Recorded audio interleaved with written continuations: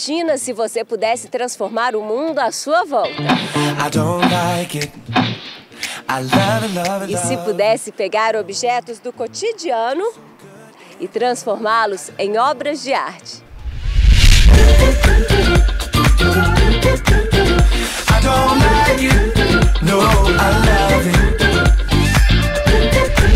Tomadas, compassos, folhas, grãos de arroz tudo pode virar uma obra de arte com o olhar criativo de um artista plástico daqui de Uberlândia, no Triângulo Mineiro. Vamos lá conhecer esse artista comigo?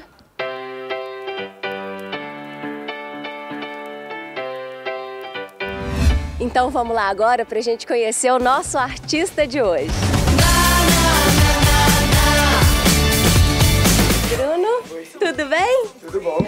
E aí? Tudo jóia? Tudo jóia. Hoje a gente veio aqui te conhecer. Então, gente, esse aqui é o Bruno. Bruno, primeira dúvida. Qualquer objeto pode virar tema de desenho seu?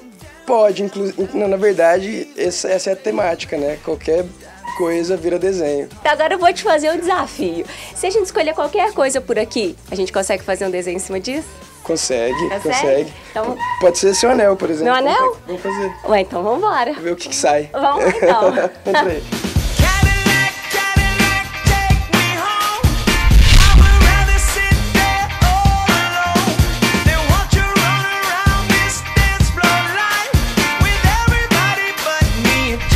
Aqui, na verdade, eles parecem um pouco estranhos porque ele- eles estão sem objeto, né? O objeto eu coloco e depois eu tiro para poder guardar o desenho.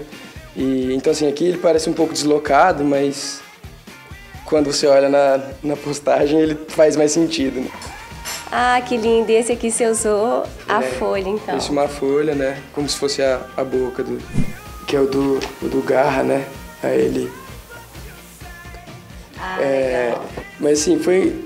As histórias são bem do que aconteceu da, da minha rotina, assim, no dia, né? Um, um dia que eu tava doente e tava tomando o remédio. Então aquele, aquele ato, né, de ficar tomando remédio a cada tanto tempo, eu comecei a desenhar com o remédio e acabou saindo um- Ah, que legal. uma, uma- uma coisa, né? O Garra é nosso mestre. O Garra escolhe quem vai e quem fica. Mas existe algum que é assim seu preferido? Tem esse aqui, inclusive, que é o do Star Wars, né? Ah, que legal. o do Mestre Yoda. E, e assim, eu, eu, eu gosto de usar também, às vezes, até um humor, né? Que é a história do sabre de luz ligado na pilha. Então, às vezes tem uma sacada, assim, que não sei se faz só sentido pra mim. Por exemplo, tem esse aqui, né, que eu fiz... Na verdade, um amigo meu pediu pra fazer um desenho pro convite de casamento dele. E acabou saindo Ai, esse ficou com arroz, né? Esse, aham. Então, uma chuva de arroz. Então, tem, aí tem desse porquinho do cofrinho, né? Do porquinho do cofrinho. É... colo- Colocando a moeda pra fora, né? O processo contrário. Ai, esse ficou muito engraçado.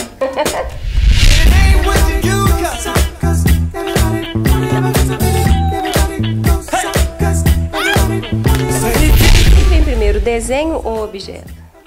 o processo, ele depende, assim. Às vezes parte de algum desenho que eu vi, aí eu procuro um objeto. A maioria das vezes parte de alguém que fala, ah, desenha isso aqui. Aí eu penso, sei lá, um, dois dias e sai alguma coisa.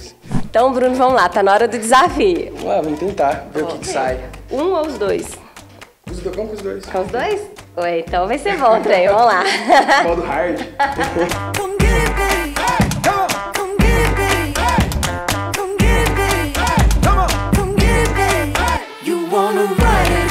acabou que no final das contas, os seus desenhos começaram a fazer maior sucesso na internet, né? Eles tiveram uma repercussão muito maior do que eu im- imaginava, se podia imaginar, né?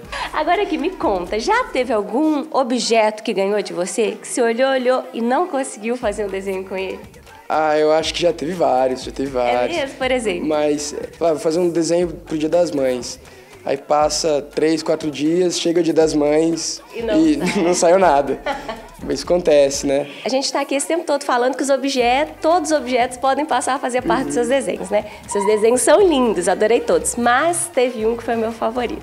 E ele foi feito com um compasso, né? Vou mostrar, dá uma olhada aqui. Então, olha, Bruno, eu adorei. Agora eu coloco os meus anéis de volta, mas eu vou ter que te pedir um presente. Ah, é? Posso levar meu carrinho? Pode. Posso? É, pra você. tá Ah.